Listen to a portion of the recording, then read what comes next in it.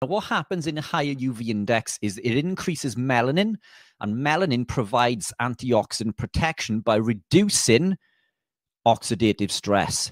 Now, picture this. We're in a position, Steve, you and I, where we are operating between this optimal upper and lower limit. Now we're exposed to this higher UV index. This increase in melanin has driven oxida- oxidative stress further down, but we're already in an optimal range. And now it's led to reductive stress. Now we start to suffer with a whole host of problems. Um, and now we we feel like we we're not operating correctly, and we feel like we need to consume some form of carbohydrate, and and that's exactly what we do. And the reason for this, and let's get into this. This this looks super complicated, but I promise it's simple.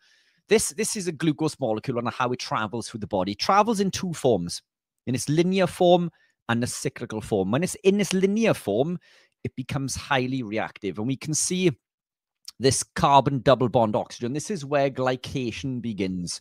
Now, glycation, you click the screen, glycation will go through a series of steps. Uh, it, it, will create something called an Amadori product via an Amadori reaction, and it will lead to an advanced glycation end product.